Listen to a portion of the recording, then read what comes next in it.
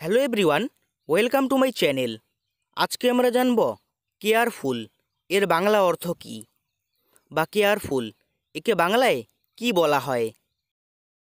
Careful এর বাংলা অর্থ হবে মনোযোগী, সাবধান, যত্নশীল, যত্নবান, ইত্যাদি।